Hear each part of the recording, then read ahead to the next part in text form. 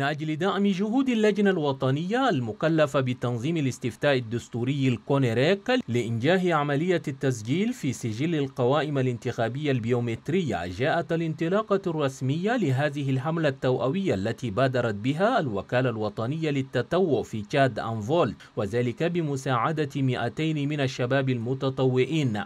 وتستهدف الحملة مختلف الحارات والمربعات بالدائرة السادسة. وبهذه المناسبة أشاد المندوب الإداري لبلدية الدائرة السادسة محمود أبغنا ببادرة وكالة أنفولت وطلب من الشباب المتطوعين الجدد الجدية والعمل بمسؤولية بغية الوصول إلى الهدف المنشود. من جهته المدير العام للوكالة الوطنية للتطوع إسماعيل محمد صالح أشار في حديثه بأن هذه الحملة تشجع الشباب الذين بلغوا سن التصويت التوجه نحو مراكز التسجيل لأخذ البطاقات البيومترية استعدادا للمراحل الانتخابية القادمة لا سيما الاستفتاء الدستوري مؤكدا بأن الوكالة ستعمل ما بوسعها لدعم لجنة الكونريك في مهمتها النبيلة.